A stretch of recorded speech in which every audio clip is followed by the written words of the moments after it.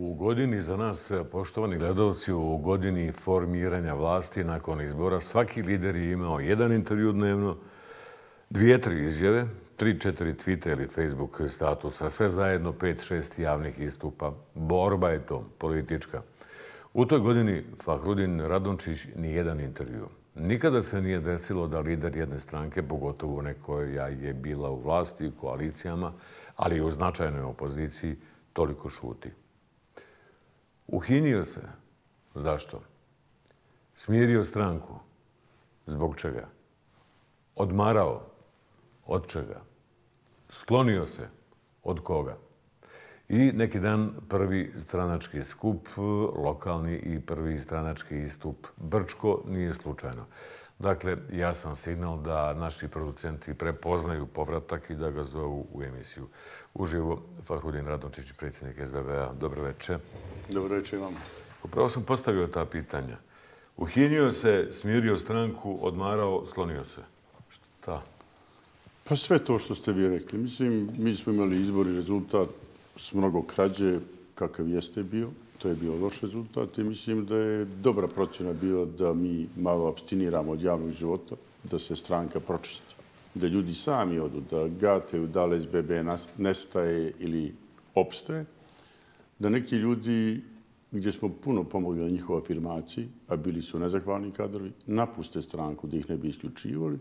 A druga stvar, mislim da su političke turbulencije takve dolaskom trojke, da mi iz opozicije treba ljudima da damo makar godinu dana vremena da pokušaju da naprave nešto što se zove popravka kapitalne štete koja je ostali za dinastije Izetbegović i tog načina dinastičkog vladanja i za SDA. To je više faktora i vi znate, ja nisam aktivan ni na Instagramu, niti na Facebooku, nisam davo intervjue. I Brčko smo napravili tribinu, upisali smo stotinu i 20 novih članova, jer su zaista ljudi željni SBB-a. Da budem neskroman, ljudi i mene, i čak i domaći stranci, već mjesecima govore Radončiću, pa ako hoćete ljudi i sadašnje vlasti, Radončiću nedostajete političkom životu, bilo bi dobro da se uključite makar za lokalni izbor, ako ne želite vi personalno, makar SBB neka se vrati. Ko je nagovarao? Pa moram biti iskren i ljudi koji su sada lideri trojke i oni osjećaju da nedostaje. Vi znate da smo mi kao participanti u vlasti uvijek bili velikodušni kad su podjele funkcije u pitanju, da to se nismo stranački grabili, da smo bili korektivni faktor, da smo bili veoma aktivan učesnik u mnogim pregovorima na međunarodnoj političkoj sceni i mislim da su oni svi to memorisali kao jednu pozitivnu karakteristiku SBB-a i vjerujem da je to zaista tačna dijagnoza da prvo treba počistiti svoju kuću, a onda pripremiti stranku za lokalne izbore. Jesu li, jesu li stranci nagovarali? Nije nikakva, Preporučivali? Nije nikakva tajna da ja što ranije kao medijski magnat, što kao čovjek koji je dva puta bio ministar sigurnosti i lider SBB-a ima aktivnu komunikaciju sa predstavnicama međunarodne zajednice i ovdje i u Briselu i u nekim drugim metropolama. I opšti je stav da SBB treba političkom životu u Bosni i Hercegovine, jer gledajte, sve ono što smo mi govorili 2010 da je kriza šans, da želimo sređene multinacionalne odnose, međuentitetske odnose, da želimo relaksaciju političkih odnosa, da želimo izgradnju Bosne i Hercegovine, da želimo autoput Sarajevo-Tuzla, Sarajevo-Mostar, da želimo takmičenje u dobru sa Banja Lukom, da želimo da Bosna i Hercegovina ne može opstati na bazi svađa, nego na bazi izgradnje. Sve su te ideje doživjele punu reinkarnaciju ili obnovu i ovih mjeseci. Znači, bilo i šareta, ili je bilo direktno od stranaca? I jedno i drugo, da budem veoma Bile. precizan. Taj start je bio u, u Brčkom verbalnom, e,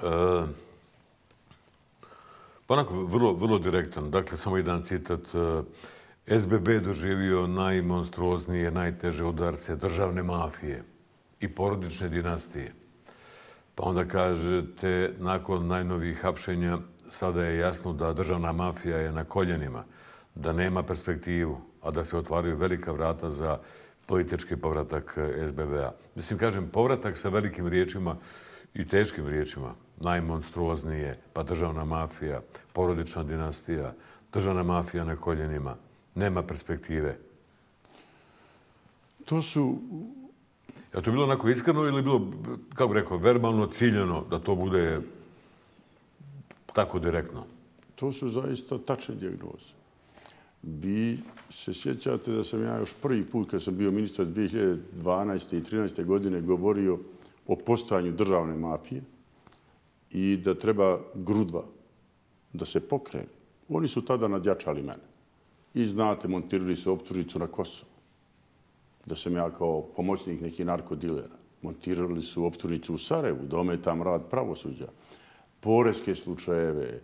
Nema, mislim, čovjeka koji je prošao teži pako zajedno sa svojom porodicom, svojom političkom strankom, svojim prijateljima, od mene kada se uzme vladanje SDA. I vi mogu bih večeras pola sata da nabrajam, ali ne želim da opterećujem gledalce privatnim stvarima šta su radili meni. Radili su i mojim saradnicima i političkim kolegama. Ukratko, šta je najteže? Pa najteže je bilo to kad vas vode kao cuku po hodićima tužilaštva, a gospođa Međida Kreso, koju treba da je sramote i dan danas, naređuje sudskoj policiji da meni stave lisice, iako znaju da nigdje ne želim da bježem. Ponižavanje? Apsolutno ponižavanje. I to je sve rađeno u režiji bračnog para Izetbegovića. Danas je taj bračni par i dinastija jeste devastirana. Hajmo se baviti činjenicama da neko ne misli da je to neko sad slavljenje ili neki lični sukob. Gospodin Izetbegović je, zahvaljujući tome, što smo dali jednog kandidata i tome što sam nisam želio kandidirati da razvlačim glasove gospodina Denisa Bećirovića, narodnom voljom maknuti iz predsjedništva. Gospodin Izetbegović je ostala bez lažnog doktorata, ostala je bez direktorske funkcije. Osman Mehmadigić kao njihova najteža i najopasnija poluga koja je zastrašivala ljude, koja je montirala proces. Pa sjetite se da ne govorimo o sebi. Zar nije tragikomično da su izmislili, zaboravili su ljudi to, da je gospodin Mato Đaković, vaš kolega, poznati novina, vozi oružje za muđahedine na granici sa Hrvatskom. To je išlo do toga da je masa pametnih, obrazovanih ljudi, intelektualaca, privrednika uplašena da ljudi nisu smjeli da razgovaraju, da dišu. Gdje je danas Mehmedegić? Pa tamo gdje mu jeste mjesto, u zatvor. Imali su svog predsjednika suda, gospodin Izetbegović je nedavno rekao da je velika pobjeda SDA što je gospodin Debevć izabran za predsjednika suda. A kako izabran? Tako što su namjestili igru da on bude jedini kandidat. Tako što je sudija Pavle Crnogorac, evo ga gledam u lice i kaže mu da li mu je neprijatno donio presudu kakva je bila u komunističkom vremenu da se ne smije napadati Josip Broz, da novinari Avaza ne smiju pisati o kriminalu Ranka Debevca. I to pravosnažnu presudu, privremenu mjeru koju ne smijete da poremetite. I šta se danas utvrdilo? Da imate predsjednika suda koji je pravi kriminalac. Reći ću vam osnovu tri detalja. Ne moram uopšte da čekam ishod. Ja sam legalista, poštojem presumciju nevinosti. Zar bi pošteni čovjek, kada ga uhapše, krio šifru svog telefona? Gospodine Hadžifeđević, mene su hapsili. Ja sam istog časa predao telefon i rekao, moja šifra je ta i ta. Zašto? Zato što nisam imao šta da krijem. Bilo koji dokaz... Da li ste šifru odmah? Da. A on treći telefon u kojem su dvije kartice stavlja da proste čitoci u stidne dlake i onda ga daje nesretnoj advokatici da mu ga krijući iznasi iz suda. Njegov jedini telefonski poziv gdje je prevarao ljude iz Sipe, na koji ima pravo pozvoje sekretaricu i rekao uništi sve što je u mom računaru. To su javno dostupni podaci iznijela je tužiteljica Jolović, mislim da se preziva tako. Znači, zašto bi neko ko je predsjednik suda, ko treba da bude vrhunac legalizma, radio kriminalne stvari na nivou uličara. Možda je zaboravio šifru, 3-4 telefona, 3-4 šifre. Pobrka se to u glavi. Ta šifra će se otvoriti. Ja vjerujem tu u sposobnost naše agencija i međunarodni suport. I ta šifra će zatresti državu. Zašto do sada nije otvorena? U čemu je, u čemu je? Mislim, digresija, ali to ljude zanima to traje mjesecima i to još nije otvoreno. Da to nepovjerenje u naše obaveštene sigurnosti službe ili ne znaju ili to mora neko vani ili je to komplikovano? To je stvar posjedovanja tehničkih alata koji imaju oni koji su te telefone u pitanju, ja mislim, iPhone 15 i napravili i naravno da će se to prije ili kasnije otvoriti. Unutra ima mnogo dokaza koje on krije, jer da nema dokaza, on bi sam dao šifru. Šta ima unutra do dokaza i zašto bi iko čuvao i u trećem i u četvrtom telefonu dokaze koji su vjerovatno i protiv njega? Ne znam, imate drugo logično pitanje. Zašto bi jedan predsjednik suda, ja ili vi, imao tri telefona i četiri kartice? To u startu nije normalna pozicija. To što je on kriju u tom telefonu, on jedini zna šta je u njemu, ne možemo licitirati, niti želimo, ali je činjenica da imate čovjeka koji niti po jednom ostavu nije trebao biti izabran po drugi put za predsjednika suda BiH i čije hapšenje najbolje pokazalo koliko je situacija u bosansko-hercegovačkom pravosuđu loša. Znate li vi šta je u tim telefonima? Pitam, pitam i novinara i bivše ministra sigurnosti, čovjeka koji ima veze, kontakte, sastanke i sigurno na izvor informacija. Zanimljive pitanje za nas je zašto je ono što je tužiteljica javno pročitala, uništeno 60 dokaza nelegalnog prisluškivanja. Eto. Ko su ti ljudi? Eto sumnje. Pa ja znam da ste tu sigurno, znam da ste vi. Ne trebate tu biti veliki majstor pa Jesmo pogoditi. Pa svi koji su bili rivali iz Edbegovićevo režimu su bili pod mjerama prisluškivanja i tehničkog praćenja. Što bi novinari bili rivali? Pa zato što niti jedna despot, vladar, dinastija ne voli slobodu javne riječi. Pa zar im to nije bolje da čuju ovako što, sve što im misliš, čak i u velikoj mjeri dobronamjerno, u nekoj jeli, kritika naravno, zar nije bolje da čuju to tako što misliš i da je rahat, nego da te što će čuti više, pa više kažem na, na, na, pred kamerom nego pred ljudima. Ne kalkulišem naravno više. Takvo, tak, Veliko je 60 uništenih predmeta, ima tu vjerovatno i ne treba od novinara praviti centar svijeta ili političara, ja, ali industrijalaca, industrijske. Imali samo optužujućih. E, Čim su oni to uništili, znači da je to loše po njih i da su uklonili dokaze što je teško krivično djelo. Pitam zato što ne mogu sad da se sjetim tačno, mislim da je bilo prije dvije godine, ako ne i prije toga, da smo u ovoj emisiji pričali baš o njima dvojici, to je da ste vi govorili o njima dvojici, da ste ih na neki način ili medijski ili politički targetirali. I sada se to dešava da su uhapšeni. Ima li tu čovjek kao osoba, političar, ili tu satisfakcije? Ja sam se našalio prije neki dan, možda djeluje neskromno. Veliki režiser Jugoslovenski, Veljko Bulajić, inače naš prijatelj, snimio je dva filma o Titu. Jedan u kojem Richard Barton glumi Tita i drugi gdje Tita nema ali svi pričaju Tito je bolestan, Tito je poginuo, Tito vodi akciju, Tito će se vratiti. Kada je jačanje mita o Titu, mnogo veći uspjeh postigu ovaj film gdje Tita nema. Prošla godina je bila godina satisfakcije Fahrudina Radončića.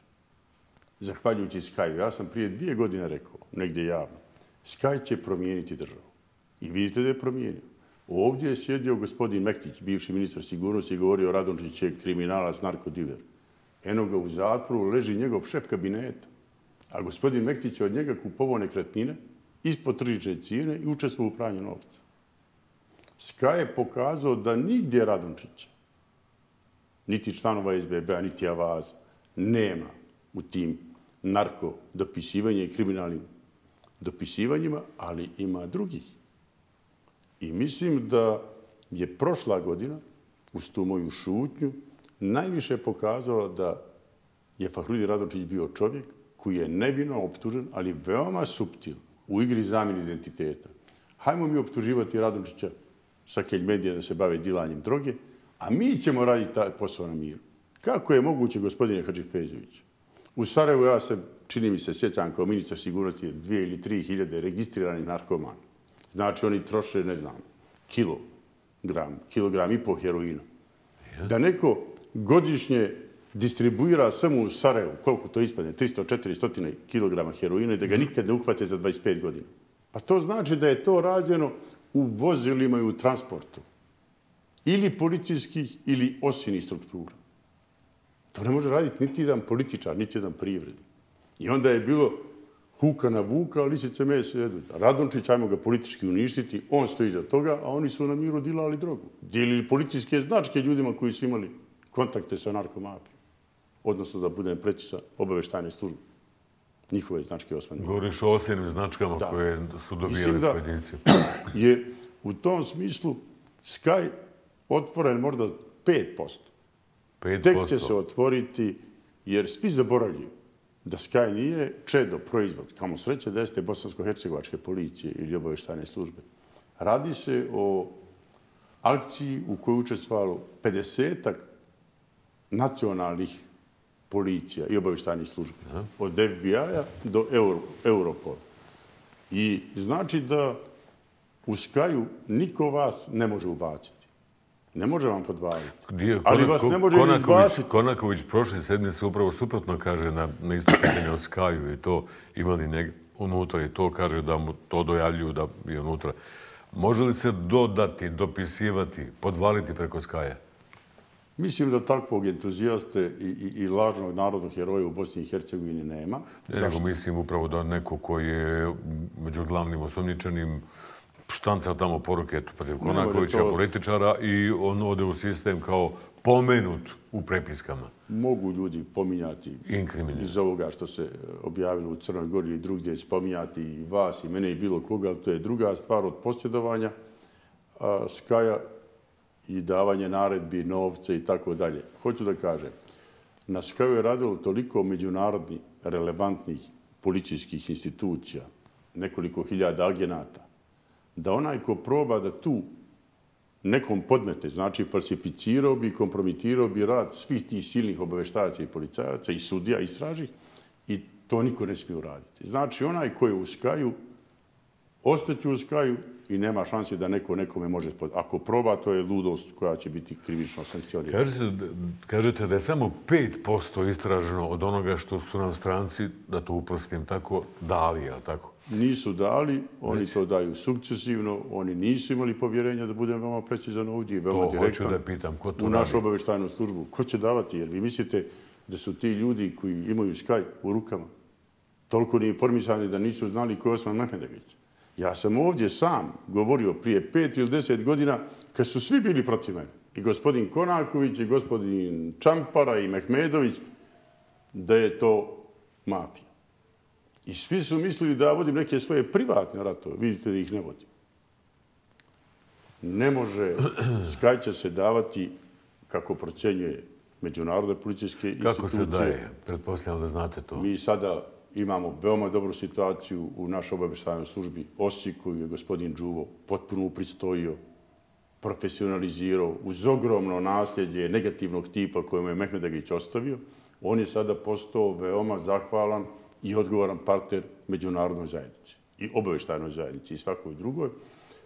Sipa će morati da radi na vraćanju svog kredibiliteta, jer je tamo šef KIA, znači kriminalistički izveštaj, tako dalje, bio gospodin Šahim Pašić, koji je meni montirao slučaj. Pogledajte što gospodin Vasković, vaš kolega, koji do sad baš i nije promašio, piše o tom Šahim Pašiću. Čovjek ima ogromne kuće, nekretnine i tako dalje. Jer vi mislite da će neko davati sipe podatke, sipi podatke, ako gospodin Šahin Pašić upravlja njima. A sve je radio za gospodina Mehmedevića. I on je sklonjen na takozvani ratni zločin da ne smeta da SIPA dobije krila, profesionalna krila. Imate federalni MUP koji je također očišćen djelimice. Znači, osa od... SIPA to može da analizira i istražuje, onda ide na federalni MUP, može ali ima i na, ima, ali... ide, ide na entitetske MUPove, ide i na kantonalne.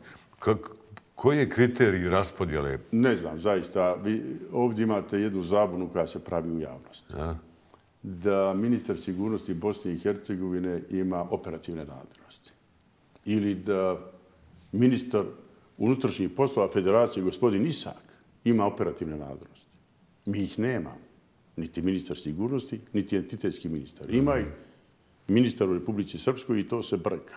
Ili šta privatno zamjera gospodin Isak se vi ovdje možete ponašati, mi, ja ću uhapsiti toga, ja ću zabraniti ome dolazak, sve je to lijepo. A operativno nema nikakve Ali on operativno nema nikakve nadležnosti. Sve nadležnosti su bitne da građani znaju Direktora. u rukama direktora Federalne uprave policije. I ovdje u našim agencijama. Vratit se tome, ali mi taj skaj zanima i ova definicija državna mafija. To ste objasnili kroz primjer e, Debevca i Osmanagiće upotrebe pravosuđa i obavištene službe. A kada govorite o porodičnoj dinastiji, dopada mi se intervju u smislu, ne moram da tražim imena, e, dobijaju gledalci imena sami, ali ne znam koliko to sada po vas ok, ali dopada mi se to. Ali kada govorimo o, o, o dinastiji, nekako ste i, kako bi rekao, otpisali kao da je to završeno. Ja mislim da stvari nikada SDA, ma, ma ko navijao, ne navijao za SDA, neutralno, novinarski to pitam, postavljam, nikada SDA ne treba podcjenjivati. Ja se po, zaista pokušam Duboka država ljudi. Da odvojim SDA od uh, dinastije Izetbegović i duboke države. U SDA imate jako puno Ja sam radio s tim ljudima, sposobnih, pametnih, obrazovanih ljudi. Ali oni su svedeni na marginalnu poziciju onoga budi državni, federalni, kantonalni ministar ili direktor. SDA ima sreću da trojka u nekim stvarima djeluje tromo kada je preuzimanje funkcija po dubini. Ali SDA već ima, što se također tiče, duboke države, velike štete od gubitka vlasti. Vidite, tamo je sada novi direktor Telekoma. U Telekomu su rađene strašne zlupotrebe po principu ilegalnog prisuškivanja. I naši međunarodni partneri su bili jako nezadovoljni, ja to znam kao ministar sigurnosti, jer su i sa mnom razgovarali, da u Telekomu određeni ljudi imaju sve podatke šta ko razgovara, a nisu podobni za tu poziciju. Ostali su bez direktora elektroprivrede, ostali su, ostaju oni bez direktora, što je njima bilo najteže, kliničkog centra. I e, trojka ima velike zakonske limite, ne žele ljudi da krše zakon i smjenju, da bi onda ti ljudi tražili privremene mjere, odnosno mjere zaštite na sudu, a da istovremeno ide proces smjena i činjenica je da dinastija ostaje bez važnih poluga, činjenica je da ja ohrabrujem ljude da ih se ne boje. Nemoj se oni više čega bojati. Koja to međunarodna adresa želi da razgovara s Izetbegovićem? U jednom relevantnom smislu. Brisa? Nikada. Washington? Nikada. Namjerno koristim riječ nikada. To je prošlost, to je anahronizam, to je nešto što je povuklo boš, prvenstveno bošnjake na evropsko dno, a sa bošnjacima i Bosnu i Hercegovinu. Dinastija je bila najveći participant podjele Bosne i Hercegovine sa gospodinom Dodikom. Namjerno smo išli na ruke dinastija mašta u muslimanskoj državi, jako stalno govori hoćemo 100% Bosnu i Hercegovinu. I mislim da dolazi vrijeme kada će i njihovi simpatizeri shvatiti da je na političkoj pameti Bošnjaka kao naroda da traže alternativu SDA. Neka SDA ostane kao neka radikalna stranka, kao što u Srbiji ili drugim republikama bivše Jugoslavije, državama, Poljskoj imate radikalne neke grupe, ovaj, na nivou neutjecajnih parlamentarnih ekipica, ali ta više stranka sa Izetbegovićima nema perspektive. Bez Izetbegovića na čelu, to je već potentnija, potentnija i bolja priča. Neću da ulazim u raspravu s vama o tome šta je Radončić u Avazu i šta je Avaz Radončiću, ali moram da koristim taj, taj medij bez rasprave u smislu informacije toga i da kažem u zajedničkoj nekoj identifikaciji da ste uh, je vas dosta bio nemilosrdan i, i, i prije izborne kampanje prošle, pa ko je to, sa pretprošle godine. I da je nastavio, ima taj kontinuitet tog pritiska na, na, na, na bračni par. To su i sve te afere u kojima se pominju ili ne pominju i respiratori i optužnice i kako to nazivate, dinastija i to. Jer je to nešto lično, jer nije bila tajna da ste bili i politički u koaliciji, a i, a i privatno u nekoj vrstu, prijateljske koalicije to, ili je to što je? Politika je takva da nema mnogo emocija. Mi smo probali i da mijenjamo SDA kao koalicijni partneri, ko što je probao i SDP ili stranka za BiH i nismo u tom uspjeli. Izetbegović je to uvijek koristio kao faktor prevare i nema ličnog sukoba. Da li je Fahrudin Radončić u vijećici slagao? I Nikšić i Radončić je kompletnu javnost za tužbu. Jesam li ja poslao... Za reviziju za reviziju, što je, gdje smo i bošnjaci s razlogom veoma osjetljivi. Jesam li ja poslao u Beograd gospodina Softića iz Vizdića da se Vučiću izvinjavaju što će se pričati o tvoj tužbi za reviziju. Ali da sve ne sekira da nema revizije. Da. I vi ste to jako dobro i ja sam zahvalan kao građanin ovdje uz pomoć vaših sugovornika koji su vrlo kompetentni razjasnili građanima da, da ne uzimam dragoceno vrijeme. Toliko je afera, toliko uhapšenih direktora iz SDA, toliko je zloupotreba u SDA, da to što radi ja vas je samo ogledalo vlasti u tom trenutku. Ljudi žive i dalje, vidim, u jednoj iluziji ili pogrešnoj slici da ja uređim vas. Pa gospodin Hadžifezović, ja sam ja bio tri mjeseca fizički izolovan iz Avaza u pritvoru. Nisam mogao izgovoriti, ja ne uređujem. Novina je normalno, ljudi rade svoj posao, ali je to nešto što krasti i vaš medij i ja vas. Ide se na potpuno a, istraživačko i objektivno novinarstvo. Novinarstvo je higijeničar društva. Ja sam novinar jako, jako dugo i radio sam za veoma referentne listove. Nisam ja ovdje prvi tekst objavio u Avazu. Mi smo higijeničari društva, govorim iz pozicije novinara. I vi ako želite da budete relevantan medij, zašto ste vi najgledanija televizija? Pa zato što imate najdirektnija pitanje, ne bojite se nikoga. I otprilike to je sa vazom. Oni nas stalno sahranjuju. Avaz će nestati, Avaz je gotov, plaše oglašivače. Avaz je sve njih preživio i preživio. Rekao vam Izebegović e, prije godinu dana da će SBB nestati. to je bila zanimljiva televizijska debata. On je govorio na jednoj televiziji, ja na drugoj. Izebegović je rekao da sam ja napravio veliku grešku, što sam podnio ostavku na mjesto ministra sigurnosti, da sam time kaznio SBB, i da će SBB nestati sa političke scene. Ja sam odgovorio da sam ja uvjeren da će nakon minulih izbora sa političke scene nestati dinastija Izetbegović. A da će s tom razlikom da će SBB moći da se vrati, i evo se vraća, a da dinastija neće moći da se vrati na političku scenu. Kada vidite sve ove afere, debevce, osmice i tako dalje, pa ne znam jeste li primijetili, sad je došlo do velikog sukoba njihovih botova.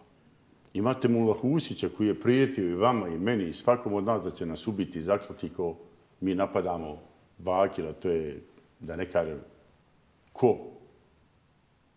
Genije u kojeg se ne smije gledati, a kamo napadati. Sada taj gospodin Mula Husić objavljuje, ne znam jeste li vidjeli, tekstove najgroznije sadržine protiv Izetbegovića. Da je se bio uništio narod, da je Bakir uništio narod, da su pripremili stranku da preuzme Bakirova čerka.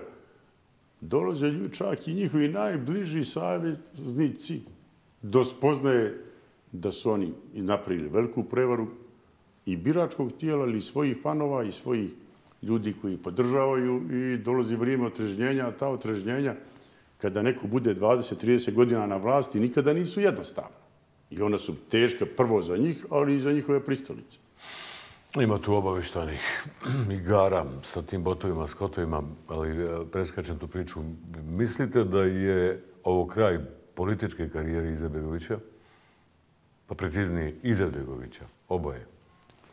Pa ako vi na izborima budete pobjeđeni od jednog mlađeg rivala gdje je realno očekivao da će se Bećirović kandidovati iduće godine.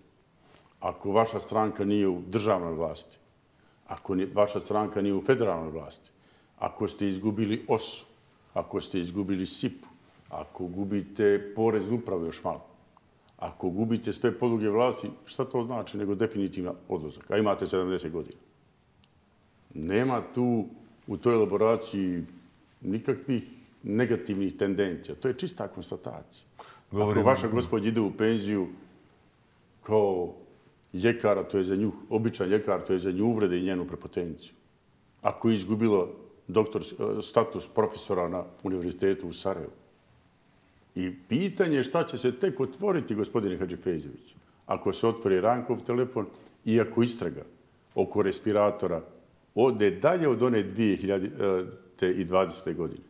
Ako dozvoljavate, vi ćete se sjetiti da sam ja podnio ostavku na mjesto ministra sigurnosti upravo zbog migrantske krize, jer je SDA htjela da mi ovdje napravimo nekoliko kampova u Sarajevu. Ja sam tražio sam taj podatak. I zbog respiratora. I zbog respiratora. I zbog Bakira. hapse bošnjake, nešto ovako. Ne znam, Bagir je rekao da je Ali udar respiratori. na hapšenje, odnosno jel, procesuiranje respiratora udar na bošnjake. A bošnjaci su bili tužitelji koji vode taj predmet i ja sam onda kao ministar sigurnosti rekao ja ne mogu učestvovati u vlasti gdje jednu brutalnu krađu, gdje za ventilatore namjerno naglašava nisu, to su stručnjaci rekli, nisu respiratori nego ventilatori. Dajete 10 miliona maraka, a ja sam tu u još jednoj veoma odgovornoj poziciji bio. Šef tima za zaštitu i spašavanje Bosne i Hercegovine.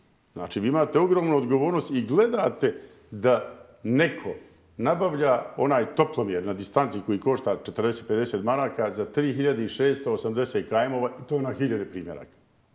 Nisam mogao Govorite ostati u toj konkretnim cijenama, direktno. Govorimo konkretno o gospodinu Solaku i nabavkama koje on vršio.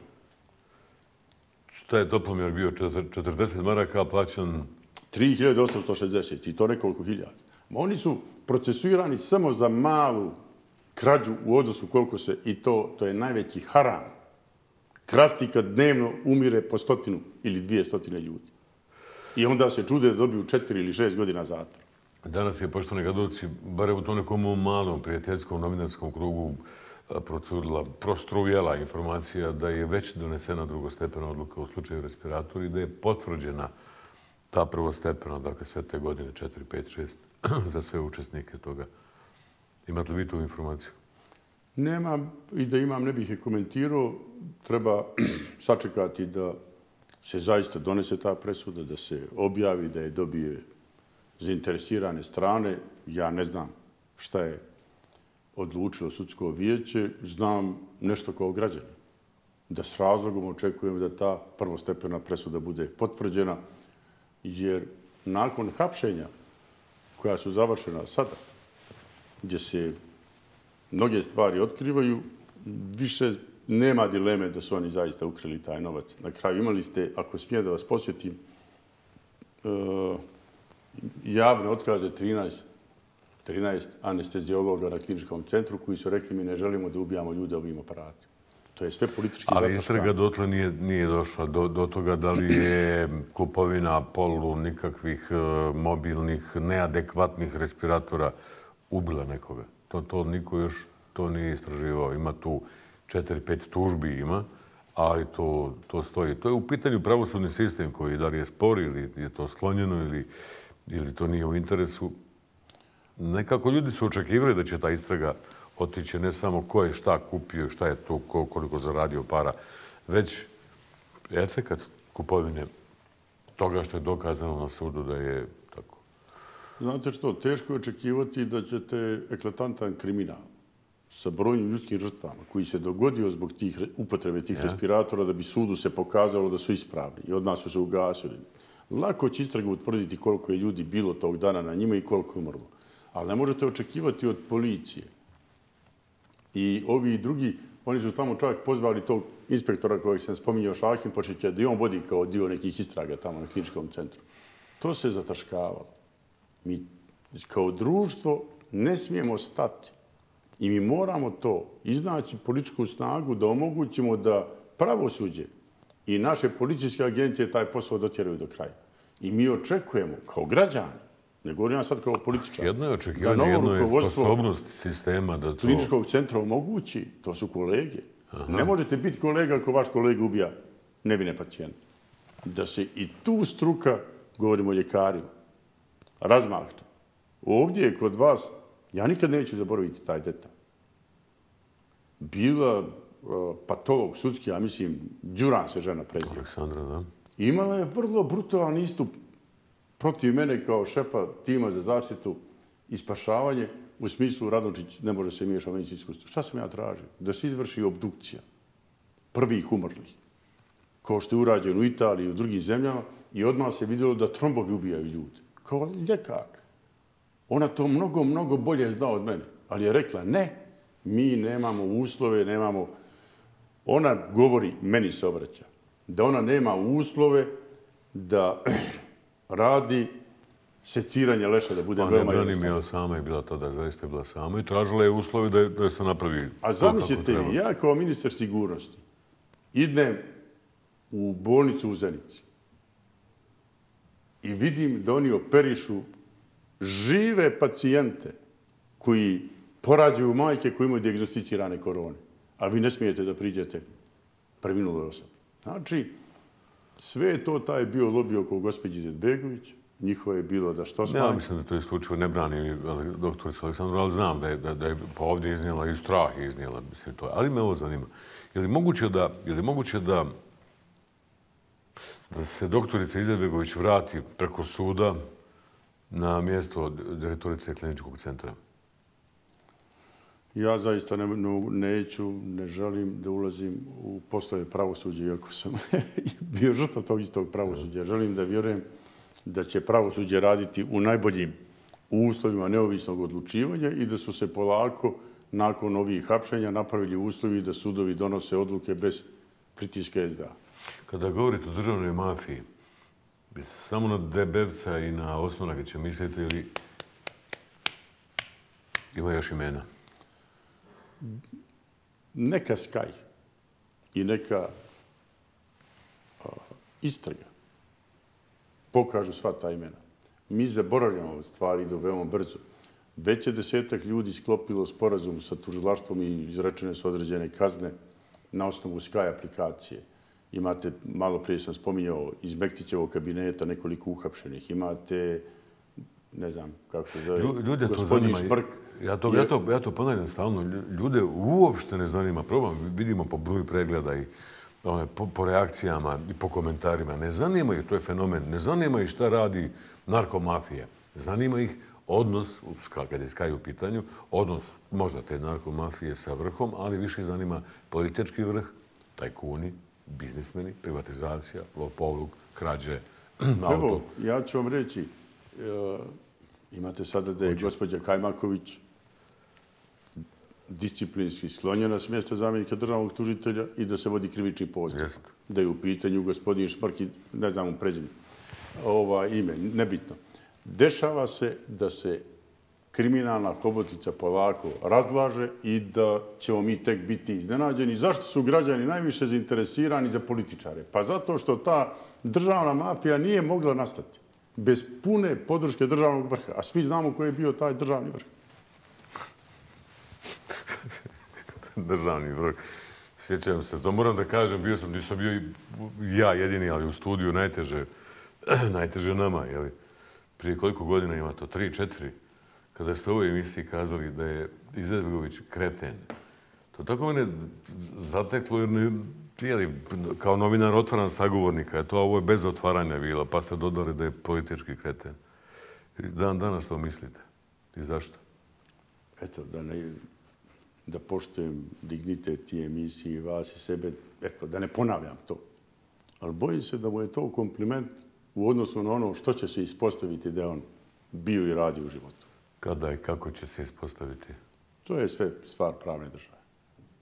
Mislite da u njegovom odlasku, a i u ovome što se sada dešava Čović, mada je to kod Čovića vrlo, vrlo direktno, da tu ima i američke zapadnjačke volje, da, da su neki ljudi zaista otpisani. Iz, možda ne svi iz, isto, iz istog razloga, ali, ali da to ipak... Ni zašto su prema nekim, ako je to tačno, uh, takvi, znači isključaj iz političkog života, to je sa Izebegovićem očigledno, sa Čovićem možemo posebno da pričamo, pričamo o tome, i sa Dodikom kojeg, koji ih provocira, koji baš, ovo je ozbiljno političko pitanje, a koji baš i ne dobio po prostim ostim tih crnih lista dva puta, ali kao da mu ništa nije bilo. Stranci. Mi imamo sreću da je trenutno ambasador Sjedinje američke države gospodin Marfi, koji je ovdje bio 2009. i jako dobro poznaje situaciju. Ali vi se sjećate da sam ja govorio da nije u redu da se pravi kod Bošnjaka antizapadna histerija, jer su udareni bili Palmer, Angelina, Marfi, svi su proglašeni antibošnjacima. I tada sam ja skrenuo pažnju, a s kime to bošnjaci žele da idu u Evropsku uniju? Je li sa Turskom i Rusijom ili sa Sjedinim američkim državama i Briselom?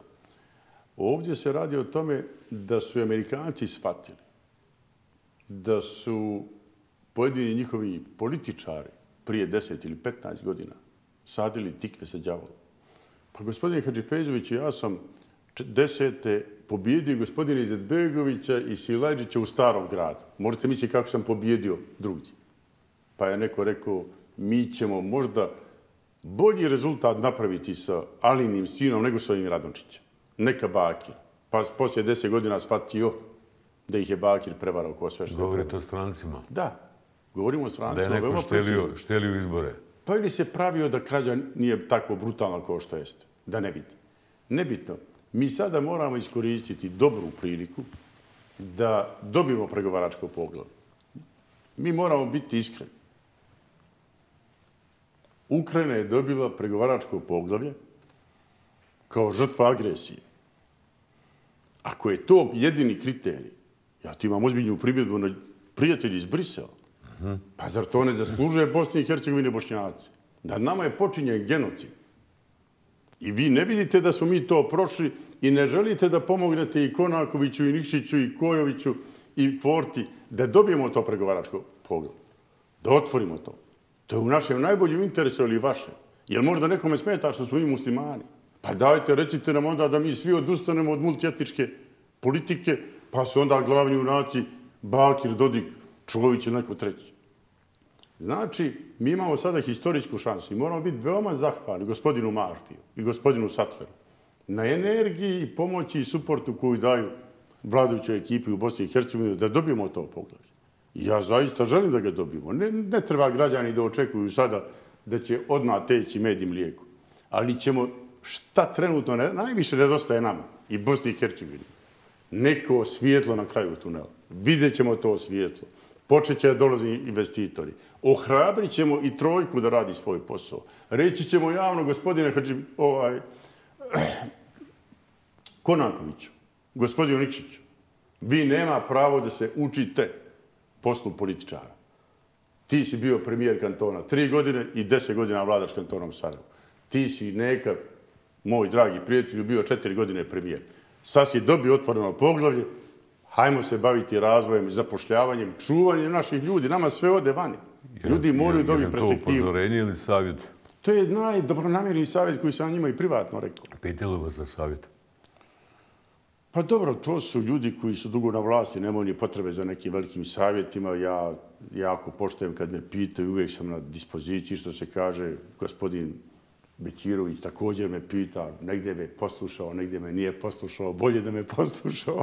Sve je to ljudski i, i sve je to Jedan vrlo bitan moment eh, kada se odlučivalo ko će biti zajednički kandidat opozicije za predsjedništvo Bosne i Hercegovine i da ste se vi u jednom odlučujućem momentu povukli i dali prednost Bečireviću. Neka moja matematika, poslije su samo moja, to svak može da izračuna, ta tolik, tako ubijeljiva pobjeda Bečirevića nad Izetbegovićem, rekao sam da bi, pa ne baš bilo koji drugi svaki kandidat, ali misleći na Radončića, možda misleći na Konakovića, da je on bio kandidat, da bi sigurno pobjedio Izetbegovića.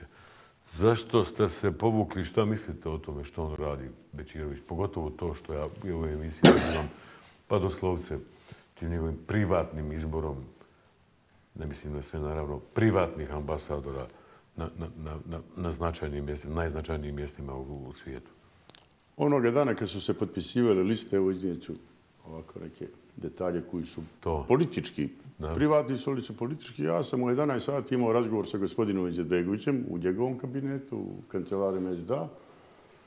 A u 12 sati su se kod mene najavili gospodin uh, Konaković i Nikšić. I... Razgovor je i kod jednih i kod drugih isključivo u mojoj kandidaturi. I ja sam naravno otišao kod Izetbegovića i on mi je rekao, Fakro, kandiduj se za člana predsjedništva, meni to je da odgovara, imat ćeš tri mjesta u federalnoj vladi, bit ćeš ministar sigurnosti ili u Domu naroda, puno bi pomogao i sebi i SDA-u da prihvatiš ovu moju ideju. A da, da bude kandidat i Bečirević? Ne. Da, da, da, da bude i Bečirević, ali da ima moju kandidaturu i praktično bi ja time... Uzimaš glasove, pa da. Uzimao glasove da, gospodina Bečirevića. Ja sam rekao, Bakire, nemoj se ljutiti, direktno me pita što ima direktno će odgovara. To je nemoguća misija. Ja nakon svega što je prošla moja porodica, a ti najbolje znaš što je prošlo, poslije mene, ne bih imao obraza da dođem kući da kažem ja sam danas odlučio da pomognem na jedan subtilan, perfidan način Bakir. I onda je on pitao, pa dobro, Fahro, ozbiljno me pitao, dobro namjer, šta je tvoj cilj u politici? Hoćeš mi reći? Ali potpuno mekano, vaspitano me pitao. Kaže, ja hoću. Kaže, šta?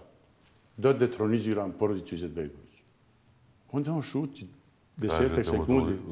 Kaže. I kaže, bolno, gdje ćeš mi to reći u mojoj kući? kaže, ja bakire. Bolje ti kažem ovdje nego na televiziji. Mene u 12 sati čekaju Neka i Dino i ja ću ih upoznati da svi zajedno idemo, idemo sa jednim kandidatom. I tad smo se vidjeli nikad više. Ja sam došao u moju kancelariju i rekao, Dini neki, ja se neću kandidirati, idemo na ovog momka, pobjedit ćemo Bakira. Moja misija je da sklonimo klan Izetbegovića, da otvorimo, da prodišu bošnjaci i imate moju punu podršku. Zašto, nisi, zašto niste bili kandidat? Pa zato što mislim da je bolja opcija bio Bećirović u smislu mlad čovjek, nov čovjek. ima pa podršku sada to isto, isto, isto mislite da je, pa gledajte, ja da je mislim, dobar mlad, da je nov.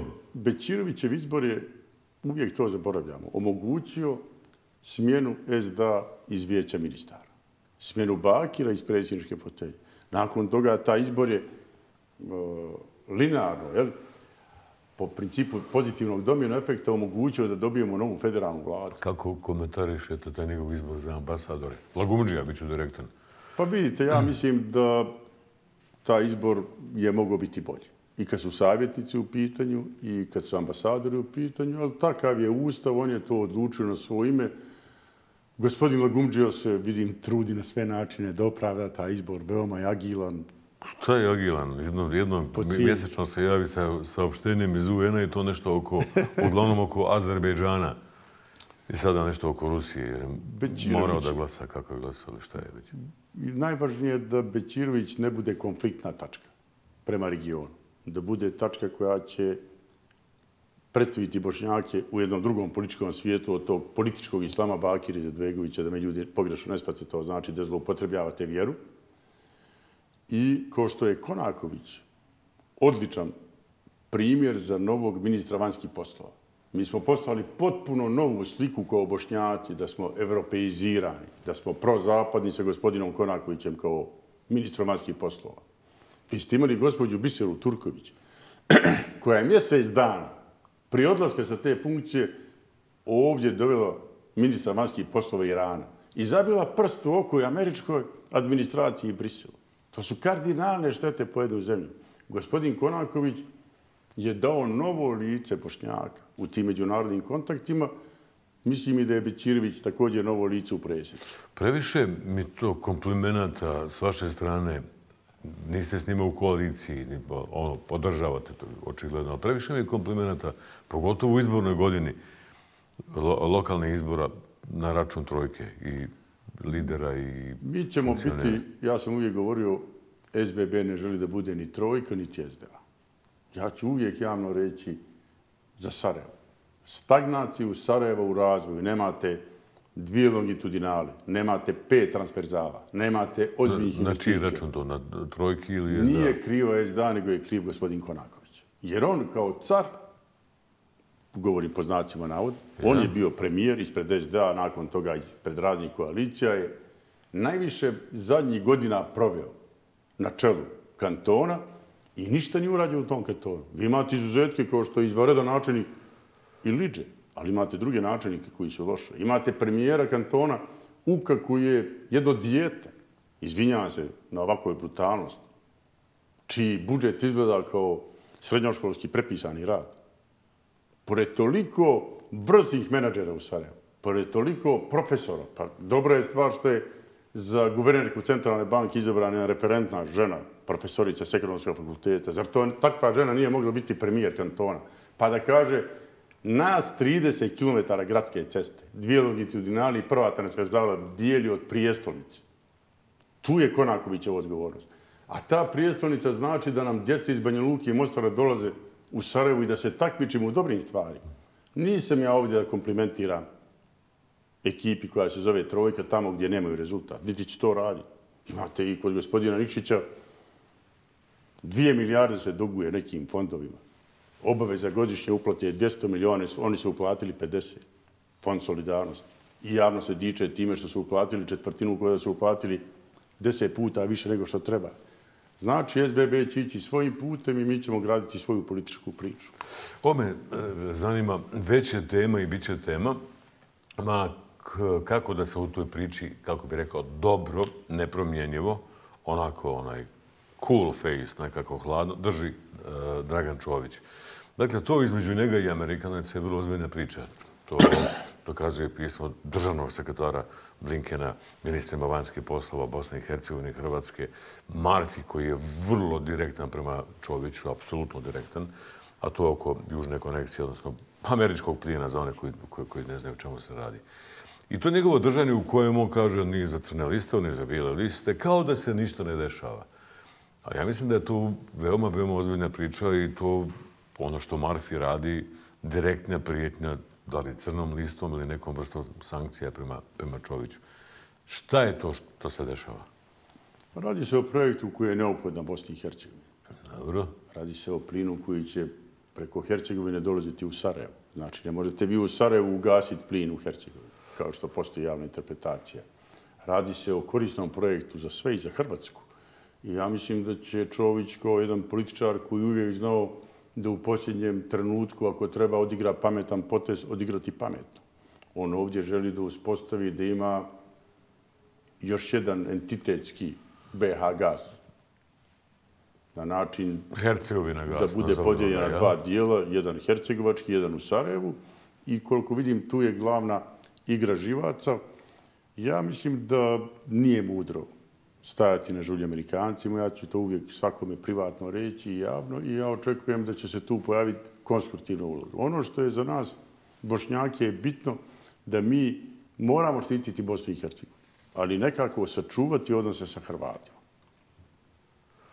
Pa Hrvati opominju Čovića da to nije baš okej. Okay. Danas su ponovo imali sestanak, neku noć je bila večera ovdje u Sarajevu, i, ali on očigledno nepopustljiv. To je malo teže objašnjivo. Zašto Pa doslovce prkosi Amerikancima.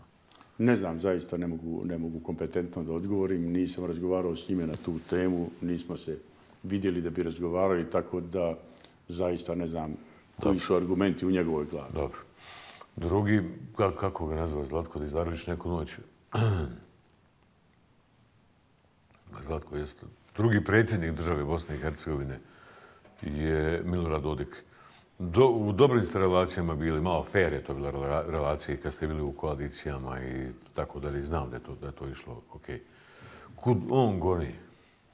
Da vam kažem, Dodik i ja smo imali dosta političkih priča koje su bile uspješne.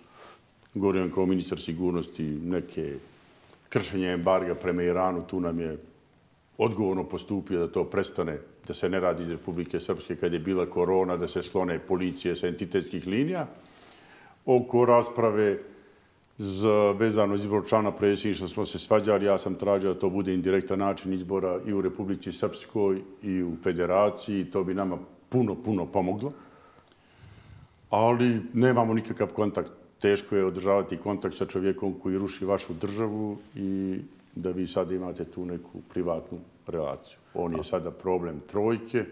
Ono što je veoma važno da vidim trojka pokazuje jednu vrstu trpeljivosti, jer svađa je dokaz da Bosna i Hercegovina nije moguća, Dodik želi konflikt na svaki način, da tu ne participiraju koliko ne moraju, koliko god ih SDS tjera kao izdajnike navodne u taj sukob.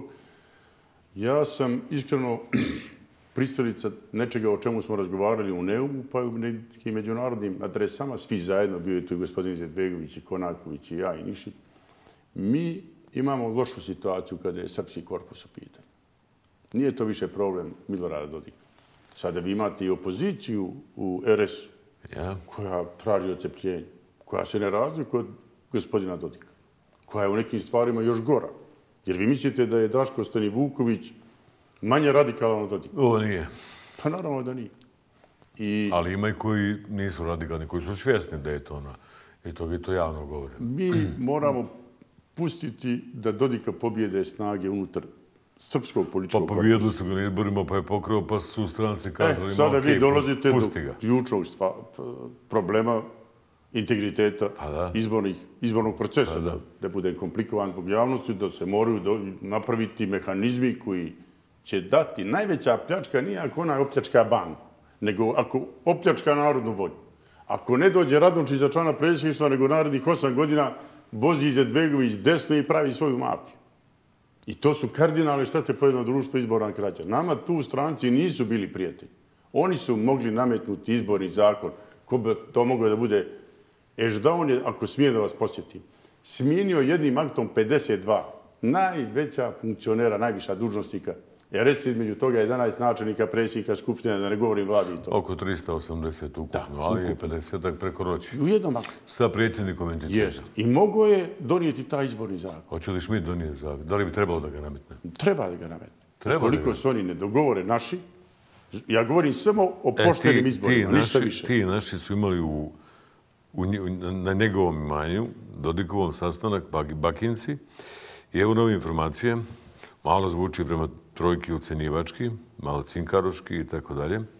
Pitao sam ja odmah u petak smo, mimo moje volje, ali to je novinarski refleks, u pola pet smo dobili taj zapisnik, eh, a vas ga je prvi objavio. I odmah sam producent iz Valicu Konaković je došao u toku emisije, pričali smo o tom i rekao sam, ako je to što je na papiru dogovoreno, to je to katastrofa i ne vidimo uopšte šta je korist za Bosnu i Hercegovinu, osim da je to ispunjavanje Dodikovih i Čovićevih želja. I sada se vodi rasprava o te večeri Konaković koji je rekao da to nije tačno, da sve je to negirao, do toga da su Dodik i Čović kazali da je sve tačno. I evo nove informacije. Malo je onako udbaška. Kaže Čović u dogovoru sa Dodikovog imanja. Sve smo tonski snimali i sve smo glatko dogovorili. Znači, znači, o, o, neko ima problem. Ovo je odgovor na to da ništa nije dogovoreno. A u stvari je odgovor da je dogovoreno. I da je tonski snimljeno. Teško je komentirati sastanke na kojima niste bili. Tako da tu ne mogu ništa pametno pa, pa, reći. Pa ovaj hoće da dokaže... Mislim da ako je tonski snimano, neko će se potruditi da javnost to sazna. Odnosno čuje. A dobijam jedan SMS. Boga ti pita ga kako je to porezna SDA. Porezna uprava nije ni politička ni socijalna institucija, već institucija označaja za sigurnost federacije, kao takva je transparentna, pravedna, racionalna i učinkovita. Veoma se slažemo na čelu kada su brojni pošteni inspektori i porezne upravi u pitanju da je to tačna konstatacija, ali dozvolit ćete da posjetim gospodina da je na velikom stranačkom skupu SDA 2018. godine u punoj zetri gospodin Isović rekao, Izetbegović rekao, naš Isović koji sjedi u prvom redu će ukinuti Avaz. Ima, može na YouTube-u da se nađe. Eto, to je razlog zašto tako. govorim da je to SDA.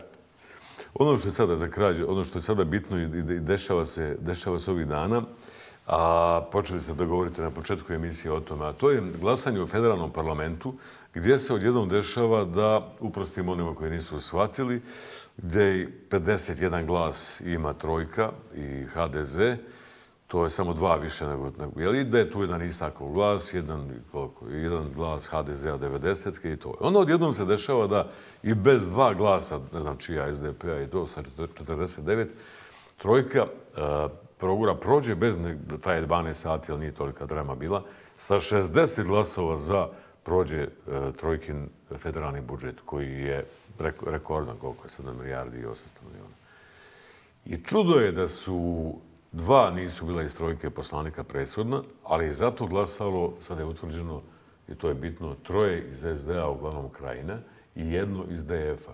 Kako objašnjavate to? Da ljudi iz SDA glasaju za budžet, i to vrlo jasno, Hamdi Javlić Tigar je vrlo direktno to rekao, i ljudi iz DF-a glasaju. Pa mislim da... Je u toku neka, neka, neka, neko prekomponovanje to. I onda se paralelno s tim povlači matematika u kojoj se kaže e sada Ramo Isako ima taj jedan glas i ovaj HDZ 90 od Ilije Citanovića jedan glas, oni više ne trebaju trojki, pravi se nova većina, Ramo Isaka treba smijeniti to. To je, to je strašna situacija, treba je analizirati. vrlo... Ja mislim da je za jedno demokratsko društvo veoma loše ako jedna parlamentarna većina zavisi od tri ili četiri poslanika, kamoli od jednog. Onda ste vi u poziciji da ste kao vlast ucijenjeni. Ili će moj sin biti direktor zatvor, imate nepotizam. Kakva je razlika između toga da Bagir kaže moja supruga je najbolji ljekar i bit će direktor kliničkog centra, gospodin Isak kaže, e, ja imam sina, on je najbolji za direktora zatvora u Zenici. Ne treba to društvu, u demokratskom društvu. No, matematika je dvije Znam, ruke. Treba glas i razumijem trojku zašto je to popustila, ali prije ili kasnije će, desiti će se ovaj proces koji se dešava, da ljudi iz SDA, ono što smo govorili na početku emisije, yeah. polako shvataju da trojka nije džavo, da njihov budžet nije loš i da dobijete glasove tamo gdje ste se najmanje nadali, a izgubite ih tamo gdje ste bili sigurni. To je politika, to je život. Ja mislim da će trojka, upravo zahvaljujući ljudima i parlamentarcima iz SDA, stalno dobijati na toj svojoj parlamentarnoj većini. A, ja sam danas to nešto računao i tako. Zamislite varijantu, poštovani gledalci, napitan tu i Radončićem. Dakle, 51 imaju sa Isakom i sa HDZ 90. I onda sada kažu, opa, imamo 60, kako kažete, ljudi došli tobe iz SDA, iz DF-a, 60. I sada ne trebaju im Isakova ruka i HDZ-ova, ne znam kako su Isakova stranka zove, i 90 ruka. I kažu, ok, ramo doviđenja, daćemo to mjesto nekom drugom, iz krajine, je kandidat e, i doviđenja. I ona se oslone na glasove, te glasove SDA i DF-a, i onda na sljedećoj sjednici parlamenta ti koji su ušli za trojkom rukama, samo pređu na stranu SDA. To je vrlo opasna situacija u kojoj se, da li se trojka smije odreći Isakovi ruku i 90-kini, a ubaciti SDA i to. Pa mislim da nema potrebe trojka to da radi. Mudro su politici je skupljati, a ne rastirivati. I ovdje... Pa šta je rješenje? Ostaviti Isaka i 90-ku i, i, i, i ovi koji glasaju? Pa vidite, Isak kao ministar unutrašnjih poslova nema neke velike kompetencije. Druga je stvar to što on u javnosti ima taj jedan za njega dobar politički nastup, populistički, zovite kako hoćete, ali ja da sam umjesto trojke nikog ne bi isključivo. Probajte e, dobiti pitam, druge. To pitam. Pa zašto bi isključivali? Ostati na 51, pa ko hoće? Pa naravno, to, to je Rizike, politička matematika. Isključiti jedne, ubaciti druge. Pa ne treba to inače i kad možete, ne treba to raditi. Bolje da je većina jača. A, principijalno u tom smislu. Principijalno lakše ćete donositi zakone. Vidite, imamo imamo 51, zakon. jedan, dobrodošlo im još 5, 6, 9. Naravno, o dohodku koji mora da usvoji federalna vlada. Mi stojimo katastrofalno zbog tog zakona i ukoliko trojka može da ojača, zašto da ne? To je Tigar zaista zanimljiv, vrlo otvoren. Rekao je da se ne boji SDA, da je glasao za budžet federacije i otkrio te neke igre oko, oko Rame Isaka. Za kraj, nekako mi zvučite prilično optimistično. Ja sam, ono, bili ste kritični prema bivšoj vlasti, prema trojki. Dobro, argumentovano je to ok, ali nekako generalno, kao da ne dijelite tu sekiraciju brigu svih ljudi da će ono sad u geopolitičkim okolnostima zbog naše slabosti, loši susjeda i komšija biti neki belaj ovdje. Pa mene su kao ministar sigurnosti još 12. 13. godine pet puta pitali, a ovo je drugi mandat da već ne govorim u svakoj emisiji hoće li biti rata. Ja mislim da mi imamo dovoljno mudar narod, da imamo dovoljno mudre ljude, da rata neće biti, da se treba okrenuti investitorima, da se treba okrenuti razvoju, da političke razlike treba da ostanu i da je najvažnije da je izborom trojke na vlasti, to je personifikacija nove političke opcije čiji je rodonačelnik da budem neskroman SBB, Bosni i Hercegovina uz pomoć stranaca trasirala jedan novi put i da ćemo uspjeti da ostanemo na tom kolosjeku i da ćemo natjerati, mi ćemo ih natjerati, evo ih podržavamo. Kada je nova vlast u pitanju da daju ekonomski rezultat, razvojni rezultat, da grade, da Bosna i Hercegovina, ono što je SBB uvijek govorio, postane, postane najveće gradilište u regionu. Ja vjerujem da to ti momci, odnosno ljudi, hoće i da ćemo to napraviti. Jer ovom narodu, znate šta najviše nedostaje, gospodine Hadžifeđić? Nada. Treba vratiti nadu. Gledam tamo prema Tornju, e, vaše magla malo nešto svijetli, a govorite o građevini izgradnje. Hoćete li praviti drugi toren? Ja sam se zarekao, zakleo sebi da hoću da izgrađujem Sarajevo. i gradit ćemo, ako Bog da, ne samo taj toranj, nego jedan veliki kompleks pored hotela Radom Plaza. I druga stvar koju sam sebi dao zadatak je da tjeramo svaku vlast da i ona gradi Sarajevo. Moramo mi biti prijestolnice. Mi još nismo prijestolnice. Imate nezavršene fasade, imate loše ulice. Kako ga pristanica, ne, ne možemo iznaći na, na to malo autoputa, obilaznice, ne možemo izaći, nemamo izlaza iz grada, moramo preko Mahala, preko Dobro, nečega. trojke, preko je zna, bili su na To je vlasti, katastrofa. Pa su odlazili, grad, brzo se dođu novi izaći izbori. Ni ući u njega. brzo dođu novi izbori. E, pa tako, izbori, izbori, pa nemamo, evo, tamo kod Avaza. Dobro, kako nek se, zove se opamete i, i glasači. Znači, niste pesimista? Ja sam uvijek optimista i ja zaista želim da taj optimizam podijelim s građanima. Situacija jeste ozbiljna, jeste teška, ne treba niko nikog da vara, ali nemojte da plašimo naše mlade ljude ratovima. Najlakše je ginuti do zadnje kapi tuđe krvi i iz trezora glumiti narodnog heroja. Naučili smo tu lekciju, hajmo se mi takmičiti u dobrim stvarima. Meni se čini dobar intervju, neću da namećem stavove. Doduše, nemam razloga da sad nešto napadam, jer od kako niste u vlasti, šta imam napadat? Ja sam na tribinama, nisam kriv ni za što.